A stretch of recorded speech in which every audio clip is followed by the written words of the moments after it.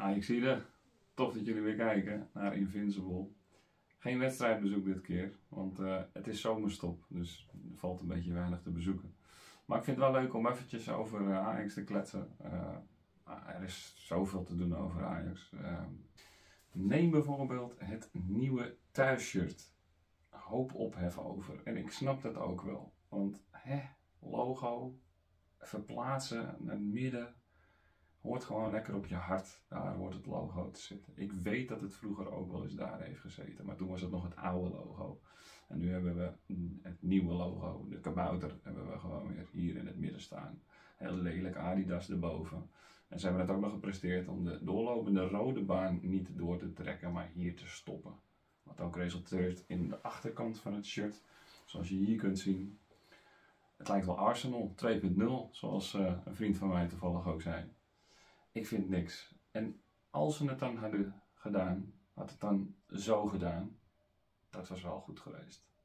Dit plank totaal misgeslagen bij nou, heilige thuisshirt zou ik zeggen. Dan is er natuurlijk de nieuwe coach, Maurice Stijn. Wat vinden we ervan? Meningen zijn er behoorlijk over verdeeld. Een Hagenees in Amsterdam. Ja, zegt het iets?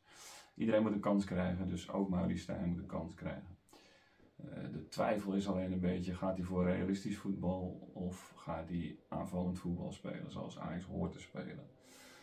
Dan kom je weer bij het punt, de selectie. Hoe is de selectie op het moment? We hebben vorig jaar gezien wat niet zo best ging. Verdediging, daar begint de opbouw en dat was gewoon eigenlijk gewoon ruk vorig jaar. En de tijd gaat steeds verder. Er is ook nog niet echt zicht op wat komt er volgend jaar te staan. Gaan we met Wijndal verder? Uh, Hato moet een basisplaats krijgen. Uh, Rens is die ver genoeg. Uh, Sanchez gaat die rechtsback, gaat die weg. Um, we hebben Kaplan, is weer terug van een blessure. Gaat die het redden? Bessie was blijkbaar niet goed genoeg. Blijkbaar was niet goed genoeg, hebben we wel kunnen zien. Kan goed verdedigen, maar is totaal niet goed in de opbouw. Gaat hij nog vertrekken? Schijnt interesse te zijn. Timber weten we, die gaat naar Arsenal. Uh, dat is ook al wel rond, maar is nog niet officieel met uh, door Ajax naar buiten gebracht. Maar 40 miljoen betalen ze met een bonus van 5. Dus die gaat ook weg. En dat is wel jammer, want het zag ernaar uit dat hij volgend jaar onze leider achterin zou moeten worden. Met Hato misschien naast hem. Of ook nog, ja, moeten we ook nog maar kijken hoe dat zou gaan. Maar we missen uh, wel het een en ander in de verdediging. En we hebben het alleen maar over middenvelders in de geruchten. Uh, Guler heeft daar eigenlijk een tijdje interesse in gehad, maar die schijnt nu naar Real Madrid te gaan. We hebben maar twee aankopen tot op dit moment. Eén daarvan is Branco van de Bomen.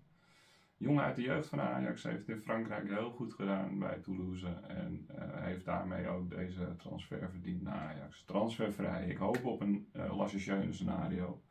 Die jongen schijnt een enorm goede trap te hebben. En kan de balletjes overal neerleggen waar hij maar wil. Dus dat kunnen onze voorhoedespelers wel goed gebruiken. Hij heeft een hele goede trap. Schijnt dat hij in zijn nadeel heeft dat hij niet snel is. Dus dat is dan wel weer minder. Um, maar goed, transfervrij, mooi, top. Ik denk dat anders wel een PSV of een Feyenoord ermee aan de haal is gegaan. Dus ik, uh, ik zie het wel zitten in die jongen. En hij wil voor Ajax spelen, dus dat is, uh, dat is al fijn genoeg. Um, verder hebben we Tahirovic van Ajax Roma, is er ook bijgekomen. En um, nou, dat zijn de enige twee, maar allebei middenvelders. Uh, waarvan we zeker weten dat ze naar Ajax komen en voor Ajax gaan spelen. Wat er verder nog komt, dat is dus even de vraag. Uh, als spits hebben ze interesse in Juan van uh, Sao Paulo. Wederom een speler van Sao Paulo, want ook Anthony en Neres zijn daar vandaan gekomen. En we hopen dat het weer net zo'n klapper wordt als die twee. Uh, maar vooral in de verdediging, daar heb ik mijn vraagtekens bij. Wat gaat er komen? Er zit nog een hele staart, zoals ze zeggen, in de transferperiode. Dus er gaat nog het een en ander gebeuren. Maar wat is even de vraag?